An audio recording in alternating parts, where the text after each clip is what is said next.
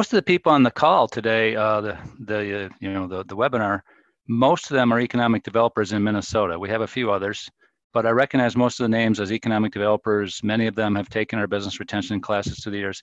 So I think we could all agree that this is really the business moment, the business retention moment of our careers. I mean, no one alive today has seen a moment like this, and it's all about keeping as many businesses as possible. Uh, and I think we all know that not all businesses are going to make it. Uh, things are changing.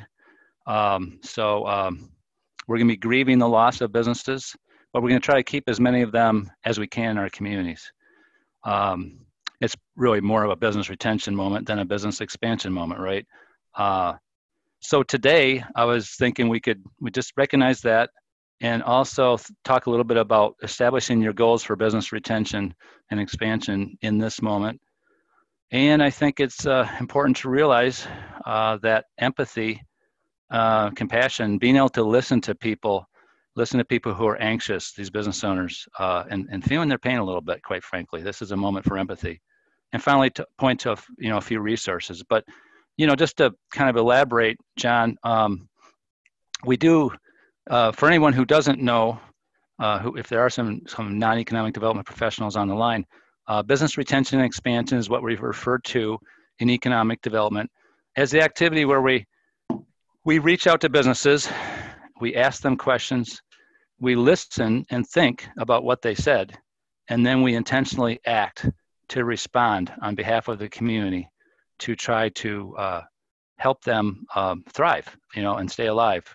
Um, so business outreach is important in this moment because obviously that's what businesses are trying to do uh, wherever they are in this cycle. Some are reopened, some are closed. Some there's a few businesses, of course, that have done really well uh, in this moment, but most businesses have suffered uh, to some degree, and particular sectors have suffered greatly. Um, so, you know, extension's been in this in this business retention, expansion, education, applied research uh, space for over 30 years, as most of you know. Um, so, I'm feeling a lot of pressure, right? Because I'm the business retention guy, and John and I are the kind of the team leaders. Some feeling like, whoa, whoa, whoa, what, what do we do? in, in this re- business retention moment? Well, first of all, we take a breath and we realize that uh, we can't do everything at once. And so we need to think about our goals uh, for doing business outreach. And you know, there's a lot of things that you could do in business outreach. You could be looking for ways to help individual businesses. You could be trying to keep businesses local. Uh, you could be gathering data to look at the bigger picture for a community. Um, but I think at this moment, showing businesses in your community that you care, that you really care, is probably the most important thing. That's always been the first goal in the U of M, U of M's BRE program. That's always been goal number one of the five, of our five kind of standard goals, is showing businesses that you care and that you, that you and the community appreciate their contributions to the community, economic, you know, the economy. But I think empathy, uh, you know, rises to the top because there's a lot of pain and, um, and clearly there's a lot of loss. So um, you think if you, one more thing, and back to you, John. Um, if you want to show that you care, then it's kind of hard to do that through an e-survey, right? It's important to be in the moment in real time with the business owner. Obviously, you can't reach all business owners at this time, but for the ones uh, based on whatever you identify as your as your uh, your goals uh, to be there and to be there could be like this it could be in a zoom meeting it could be on the phone it could be physically distanced which uh, you know um, appropriate safe face-to-face interaction but it's really in that way that we can feel another human's uh, you know emotions and emotions are a big thing right now we have a class that we teach and we have people go out and do a, a practice BRE visit. Well, the class is going on right now, and so we told people, we want you to do a, an interview. And so about five of the students did their interview. Some did it safely, you know, face to face. Some did it on the phone. Some did it um, through Zoom. And about half of them said in their threaded discussions that they really felt the pain of the business owner. So it just made it just made it more uh, clear to me that uh, you know this is an empathic moment. So part of the job is is to is to um, is to listen to these people uh, while you're also gathering data and, and trying to attend to your community's economic development goals.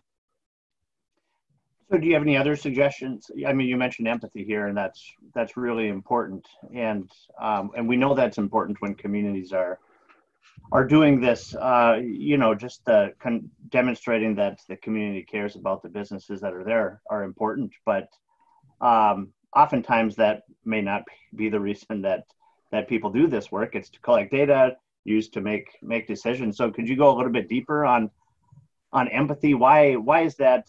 Important and what advice might you have for economic developers or or planners or other um, you know local people whose job it is to to work with businesses? Any suggestions of how they might do that um, you know with a little more more mindfully i guess?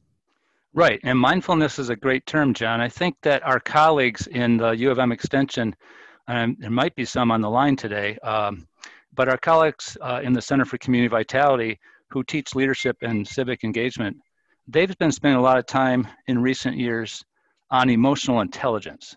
And so I'm sure many of you, if maybe all of you, have heard about emotional intelligence. But if there's a time for emotional intelligence, now is that time. And emotional intelligence involves uh, several things, but one of them is empathy.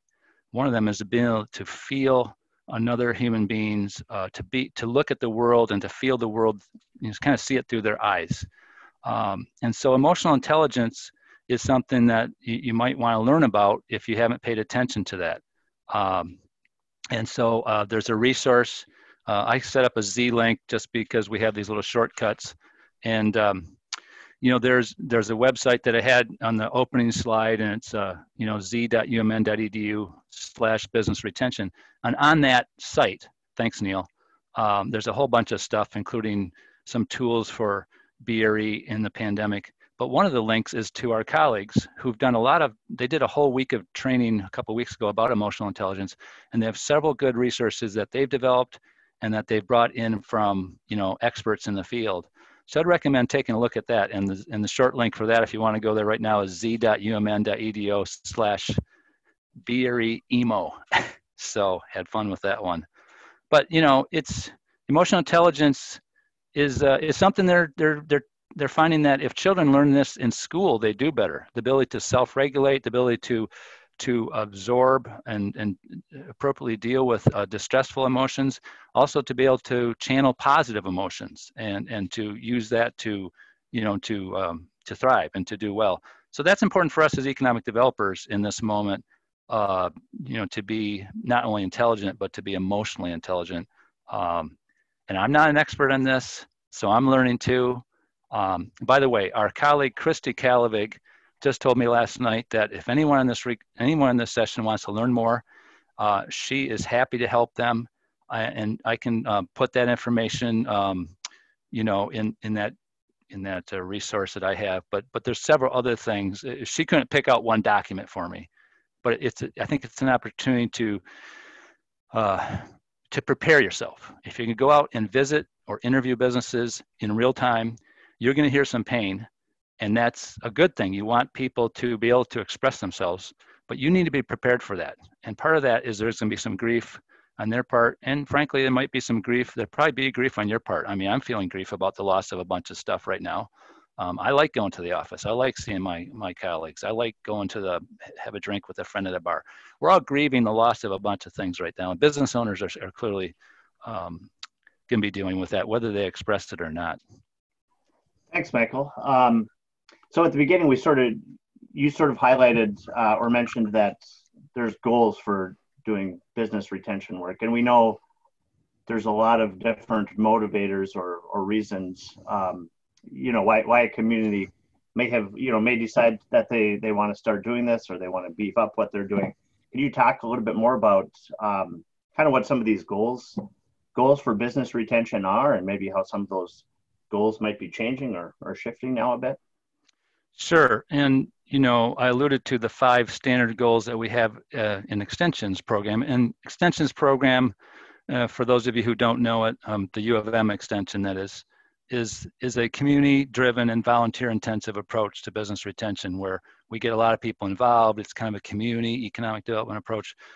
And because we have that um, really robust model we have pretty ambitious goals. Uh, and so the first goal like i said is to show the business that you care. The second goal is to help the business solve problems. You know we call these red flags green flags warning flags whatever. They're, they're opportunities for economic developer to serve and um, the economic developers' allies um, and the people in their networks.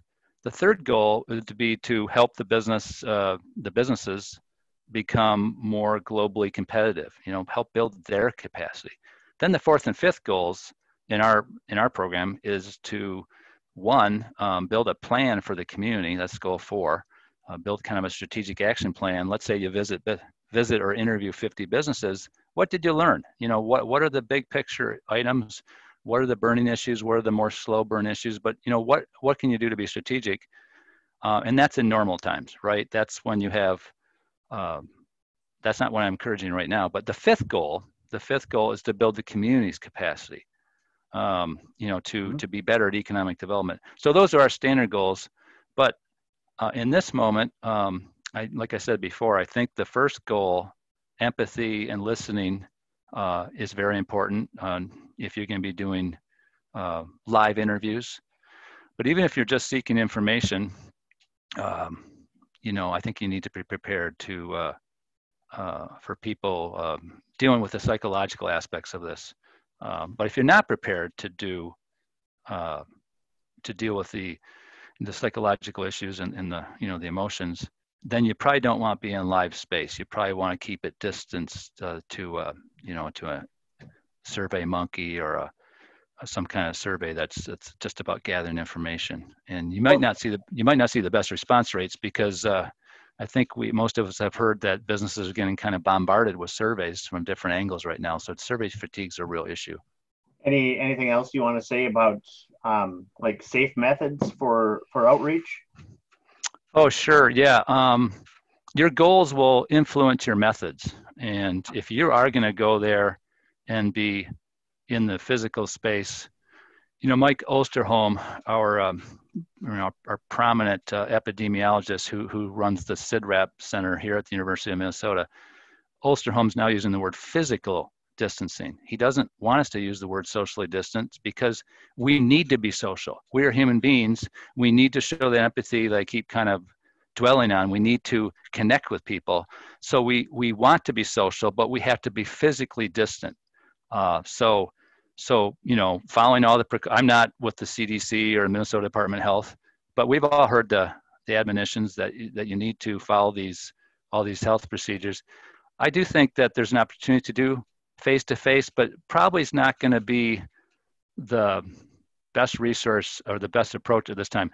Yesterday, the Minnesota Chamber of Commerce had a wonderful webinar uh, where they talked about the methods that um, they're recommending right now. And so they're, I think, uh, they're using an e-survey through SurveyMonkey to gather data, and then they're setting up live Zoom half-hour discussions with the business to discuss the findings uh, that are elicited from the e-survey.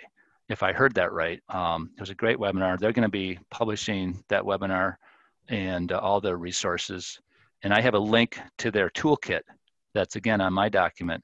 Um, but I think that's a nice kind of one-two punch that they're using there of gathering data and then having a live moment and they're having the you know the chamber professional and and some other community or economic development, um, you know, allies or partners be in on those on those follow up meetings. Great. Um, and what about what about? Uh, I I know you you created a few documents or resources here for people, and Neil has put them on the screen. Thanks, Neil. Uh, sure. so a little bit about these.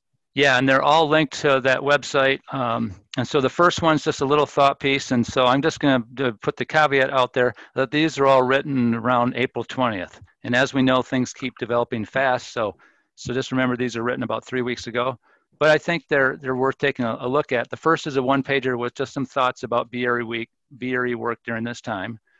Um, the second is a comparison of four organizations surveys that they were doing um, you know, starting in March and April, including the Minnesota Chamber and the, uh, the Minneapolis Federal Reserve Bank, uh, but a couple others.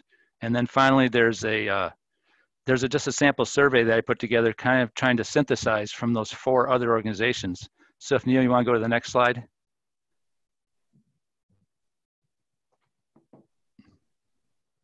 There you go. So this is just a snippet from the one pager. Um, so you can take a look at that. Uh, then the next slide.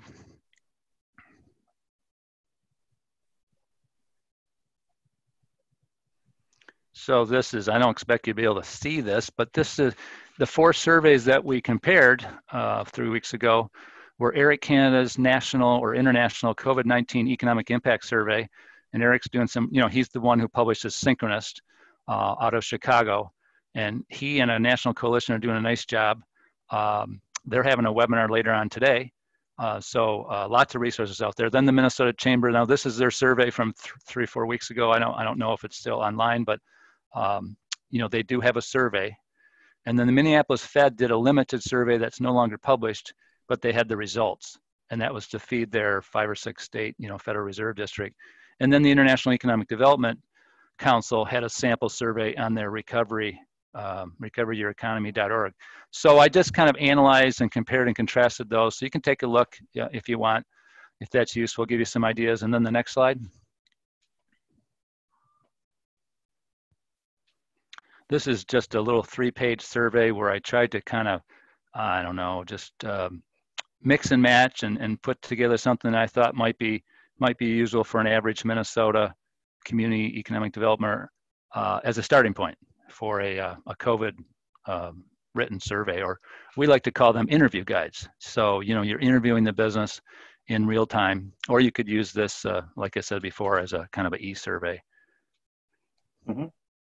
So those are the three documents, and uh, again, they're at that website, uh, uh z.umn.edu slash business retention and a whole bunch of other stuff is there including those links to the minnesota chamber and and some other places yeah great and um, i think there's a lot of surveys out there there's a lot of different options a lot of good options and i, I think i might just throw out there too that if people want to chat further about a survey they're working on for their main street or their business community they are more than um, more than welcome to reach out to to us, either Mike or myself, or um, you know, somebody from our community economic shop here too. That's closer to your region. Uh, that's great. Um, I think I think it's probably a good time to ask people if they have questions. I see that um, that Neil put something in the chat here, and if you wanna, if you if you do want to ask a question, just go to the bottom, click on chat, and feel free to to type that in there, and and we'll get to that um, yeah, I think that's uh, that's that's fantastic, Michael. Um, anything else you want to you wanted to talk about before we dive into some of these questions about best practices or tips with your years of experience, um, kind of in this kind of work? Uh, what other advice do you have for people out there? Well, I'm trying to be humble here, but I, I think that maybe the single thing is to um, is to show the businesses you care and be willing to uh, i guess the other thing is um, you can't do everything right you you need to take care of yourself as economic developers. Uh, there's a lot to do. I know you're all uh, those of you who are on the front lines are just working your tails off and we really appreciate what you're doing.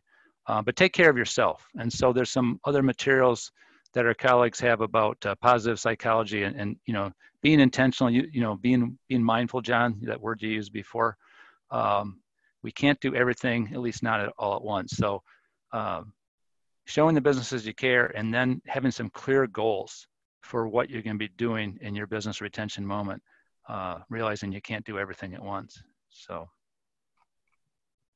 Yeah, that's fantastic. See, there's a, a question in the chat here, Michael, if you want to take a look at it. Do you think this is a, also a good time to involve other community leaders in the outreach activities? Sure, and hello, Karen. Uh, good to hear from you. I think that's a, a, I think it's a great opportunity, and the Minnesota Chamber, I think that's uh, partly what they're doing with that uh, e-survey first, and then having a, a Zoom meeting for not more than half an hour you know, we have these webinars at half an hour because everyone's busy right now. Does everyone ha- does anyone out there have too much email? Can't keep up with your email? Yeah, we need to keep things quick. Um, but I think Karen, it's a, a great opportunity to involve other community leaders. Uh, you know, you set up the moment for them to be able to briefly but intensively meet uh, with these business owners. I think that's a it's a good opportunity, but it, it's need, it's going to need to be facilitated, uh, you know, by by you economic developers. And Okay. I just want to Uh, add something into that, that, what you said there, Michael. It's also important um, to be have a have that plan and have some of your your community leaders, like uh, people involved in a, a board, like an economic development board or a chamber group, or just that core group that um, is there, so that when there are issues that do arise that maybe are beyond the COVID situation, maybe they're community issues, that you do have that team in place ready to respond, ready to take action if you can. Sure. That's right. Um, let's see. Any other questions? Uh, no other questions so far. Um, I think. Uh, Maybe that's think- good because I I pretty much laid out everything I could think of so far. Let your your brain here for this morning. Okay. We have Um, another question here. What are the tools you'd recommend we use to help businesses stay in business? Now that is uh, that's the question of the day, Sarah. Um, you know, I like to say that business retention and expansion, visitation or interviewing, that's kind of the information gathering. You know, that's kind of the way of of having a, a formal process for reaching out and find out what the issues are. But you know, the whole thing about what does an economic developer and their allies do to help businesses stay alive that's the art of economic development. So uh, there's a lot. There's a slide yesterday that Kathy Schaff showed from the Minnesota Chamber, and there's like 20 different entities that she's trying to keep abreast of. You know, that have resources and that have different tools, right? So that's that's. Uh, uh, I don't have any easy answer for you. That's that's an economic developer. But again, I'll just go back to you have to make some priorities, right? You need to take care of yourself because you can't not, we're not going to save all the businesses right? Um, there needs to be some triaging there needs to be some prioritization. Um, so the community has to kind of um, you know think um, i mean it just sounds a little harsh right? But in any ecosystem uh, you can't you know um, in a moment like this you can some are going to some are going to um, go forward and, and, and get through and some are not but then there's some on the bubble so uh, that that could go through and i think that's the economic developers challenge is to try to kind of reach the ones that uh, you can make a difference for but not thinking that you can save everybody Yeah, that's right. I think you kind of mentioned this earlier, but business retention work is important for a couple of reasons. One is so you can respond to these more immediate concerns, but the second is to kind of be able to get the what's the tick of the local business environment or what's the, the overall business climate to kind of think about some of these um, overarching goals that the community can work on as well. Uh, Yeah, you know, do we have other questions coming in? yeah, we do. Uh, uh, Becky, thanks for your comment here. And I was on a webinar yesterday that showcased the steps the city of Charleston, South Carolina was doing. One of those was to really push buy local programming, including adopt a local restaurant campaign. So I, I think that's those are great ideas. And uh, do you have any comments on what you're seeing out, out there in the field, Michael? well I'll just uh, say hello to becky who's from north carolina and she's currently in our BRE class and she's going to be part of this this uh, BRE effort to target retail and uh, um, entertainment, re, uh, um, accommodations, kind of the retail and tourism industry. And so those industries, those sectors have been really hit hard. So Becky and a few other states are part of this project to um, use BRE techniques to target the, you know, uh, entertainment, accommodations, um, tourism industries.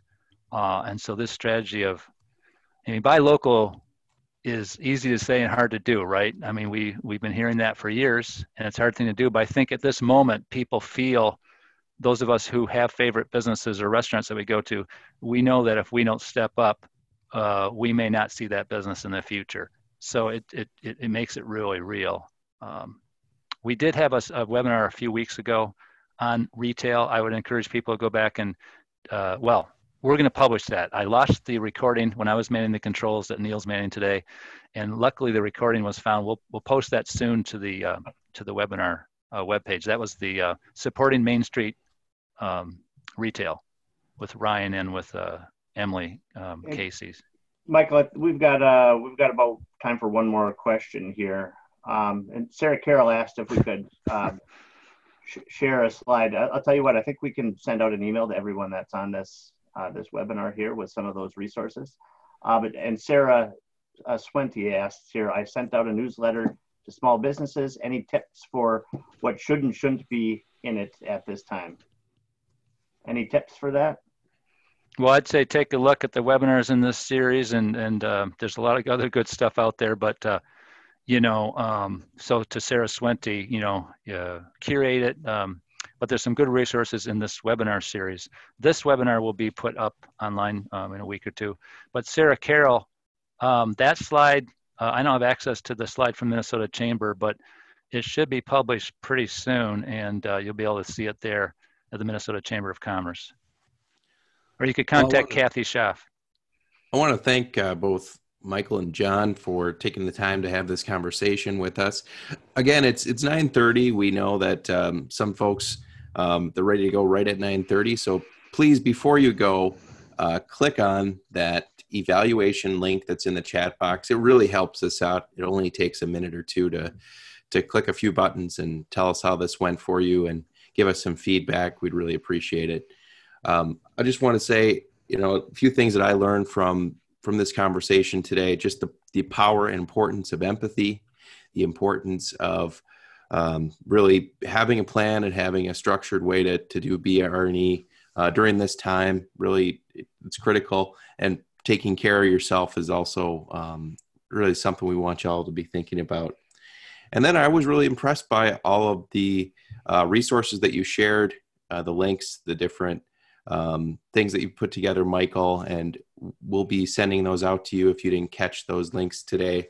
Um, we encourage you to use those, take a look at them, uh, send us an email telling us where we got it right or wrong. Uh, we'd love to just keep this conversation rolling. So, uh, again, thank you for your time today. Thanks for joining us. And we'll stick around until about 9:45, and then we'll cut off. So, if you have any further questions or comments you'd like to add into the chat box, please do. But uh, thanks again for being here.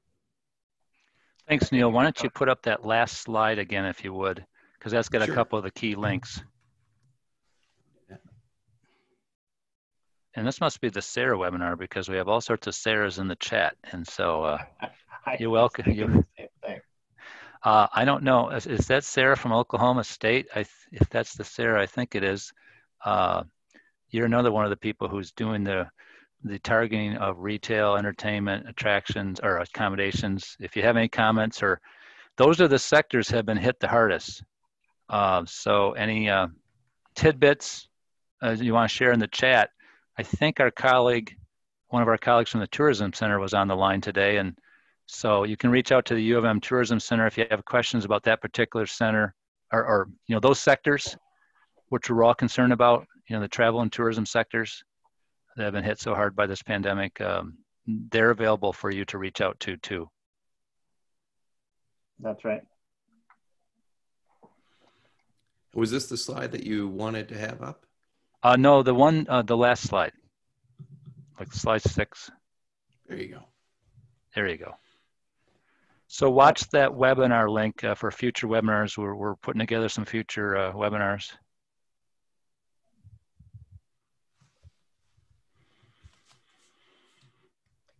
Yes, you're welcome, Sarah Swente. Happy to happy to send out resources. Again, you can always you can find a lot of uh, resources and information at the extension website here too that we've we've put together and um, and hopefully in a in a way that makes sense and is useful. Thanks to Paul Thayers for that comment. Uh, hopefully maybe see you virtually at the NACDEP conference in a few weeks.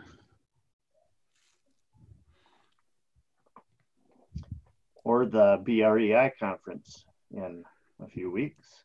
That's right. Business Retention and Expansion International is a group that uh, John and I are active in, and they're having a virtual conference that, uh, like the third, of you know, June 15th through 19th, and John and I will be doing some sessions there. So that's that's a resource you might check out. It's a uh, 250 for their virtual conference, or 150 for members. It's a steal. I think. Yeah, something that we we haven't talked about too much, Michael, but I, I think any of us on the extension team um, would be open to it as if people are working on a survey and they just would like to hear some get some feedback on the survey that they're they're thinking about doing, or just have a chat about uh, their plan. I think any of us are really open to that.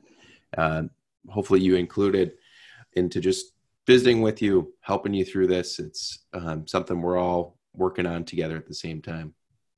Absolutely, give us a call. We're all, you know, any of us here, or um, you know, the rest of the extension community economics team. Hmm. And Lance got a question, question, from from Lance. Do you see that? Uh, yes. Any suggestions on how best to complete business interviews? Our community was in the middle of interviewing businesses when stay-at-home orders were enacted. How do you maintain consistency? Yeah, hi Lance. Lance is in Lonsdale, Minnesota, and they're right in the middle of their, you know, what we call the Connecting Businesses and Community program when the pandemic hit. So we had talked about, um, you know, getting together again in June, Lance, and figuring it out because you know our our traditional survey is is is quite a quite an interview guide. You know, it's a 18 pages of questions. I still think that could be done, but if we need to kind of um, you know adapt and adapt in the moment, I think that's something that uh, your leadership team and uh, and we could talk about and figure out how do we move forward. You know, you, you were getting a better response with your e-survey than you were in the face-to-face survey at the time, and so we were already learning um, about uh, uh, the businesses in your community, which which things they were reacting more to. So it's a learning moment, Lance, and we'll be in touch. But that's it's a it's a great question, and uh, I don't think there's any obvious answers, uh, but we'll we'll figure it out. We'll figure it out. And Sarah mentions that she's got some um, some of the ways they've used BRE survey data to address emerging issues in the retail and hospitality industry. So I think we're going to take you up on that, Sarah. I, um, we'll reach out to you after after this webinar is over, or sometime here. That's fantastic, Sarah. Yeah, I'm I'm excited to hear about uh, about some of that.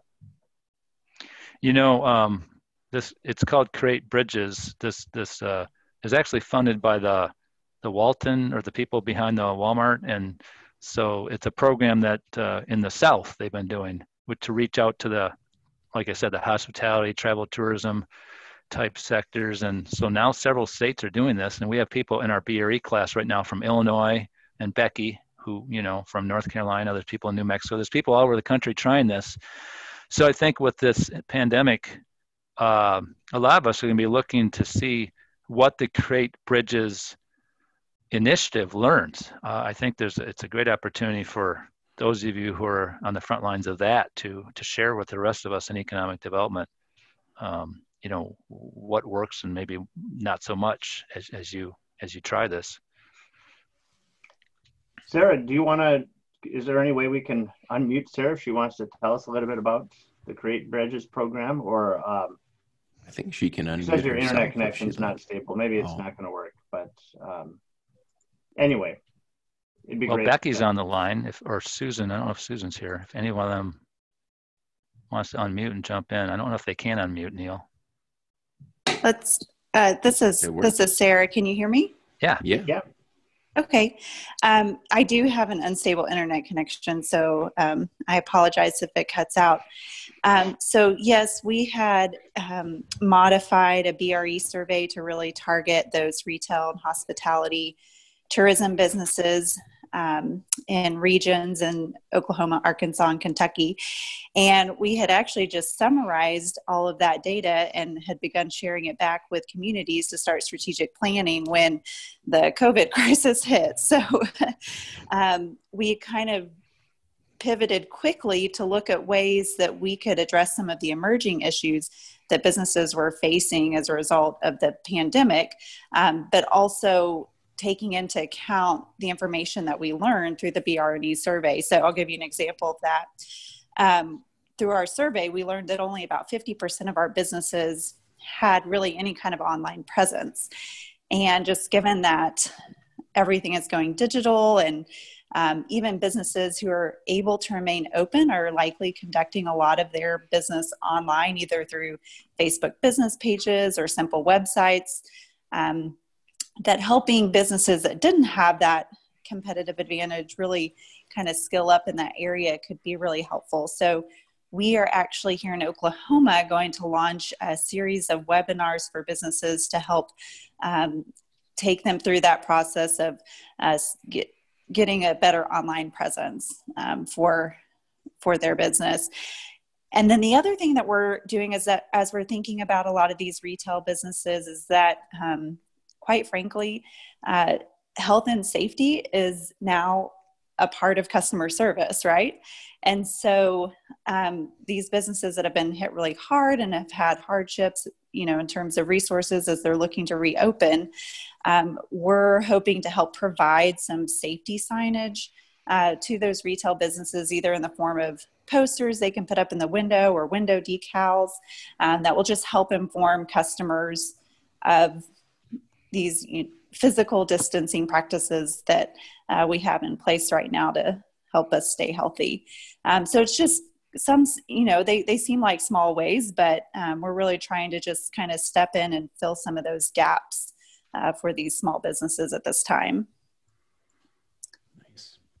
That's great, Sarah. It's wonderful to hear that. And, uh, you know, that's, uh, that's a role crossing the digital divide is is it's it hasn't gone away. And the digital de- divide if, if, this moment has made it starkly clear that many places in america um, either they don't have the broadband or they don't have the skills or or both. And uh, absolutely. that's mm-hmm. a, that's a role that those of us in the extension uh, cooperative extension have have played for years. In minnesota, in minnesota we did that uh, several years ago and we're, we're thinking we're thinking possibly getting back into that but that's it's interesting to hear what you're doing with your Create Bridges initiative there in Oklahoma.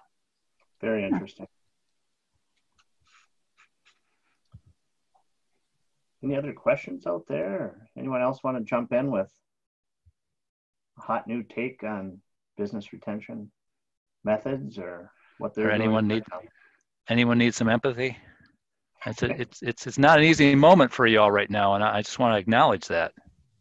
Yeah, that's right. Harris with the City of Norfolk uh, Economic Development. I just want to uh, thank uh, Michael uh, in Minnesota for your leadership, not only uh, for the folks out there, but for a lot of us across the country that are learning from your methods and from other communities. And uh, appreciate everything you're doing with this webinar series. Thank you. You're welcome, Mike. And that's Mike Paris, who he took our our BRE class last fall, and now he's helping teach it here. So he's being He's being uh, modest. And Mike, you will be able to uh, hear him, see him at the virtual BREI conference uh, next month if you if you show up. So he'll be doing a panel. Kathy Schaff from our state, from Minnesota, uh, you know, the Grow Minnesota program the Minnesota Chamber. She's going to be on a panel with you, Mike. So uh, looking forward to that. But uh, um, Mike, you want to say one or two things about what you're doing there in Norfolk, Virginia, in this pandemic on BRE? Uh, sure. Yeah, just uh, very briefly, um, we're in the middle of a, a large outreach campaign. Uh, uh we decided to initially uh, try to contact a thousand small businesses. We have a team of seven folks, uh, eight, excuse me, six doing outreach and, and two business intelligence folks that are kind of guiding the effort. We have a few factors. one's a, a revenue generating uh, areas. Uh, we're looking at impacted sectors, geography, and inclusive factors, uh, including making sure that we're reaching out to our uh, uh, communities of color and, and, other areas that have historically uh, left behind with economic development. Um, and and so we're about uh, seven or so of those calls in. Uh, we've we've assisted about 330 businesses, deployed around a quarter million dollars in in a local product, economic disaster assistance loan, and we're getting ready to roll out a, a grant of two thousand dollars each uh, for businesses looking to reposition their their business model. Um, so we're really in the thick of it. As, after we finish this in, in two weeks, this is kind of a 90 day stretch. We're going to be looking for se- sector specific and cluster strategies. And we're really looking to learn from communities across the country uh, as we kind of retool our business plan, or excuse me, our strategic plan for the department uh, and reorganize our teams about every uh, 90 days right now. Uh, one year planning and five year planning sort of out the window. But that's pretty much what we're doing in Norfolk. Thanks, Mike. Appreciate the opportunity. Great. Well, hey, we'll we'll talk soon, and um, you're doing great work out there. So hang in there. Thank you. Yeah, I think that's the message we'll uh, end our call with today. It's 9:45. As we said, we'll do a, um, the hard cut off here, and and that message is uh, hang in there. You know, um, talking to to folks that are experiencing such stress as as someone who has to take all that in and try to find ways to help, even though you might have very limited options to help them. Um, that's going to be stressful for you, and uh, we want you to keep doing the good work that you're doing. So, again, hang in there and uh, keep up the good work. Thanks, everyone. I think we'll Thanks, call everyone. it a day. Thanks, Neil.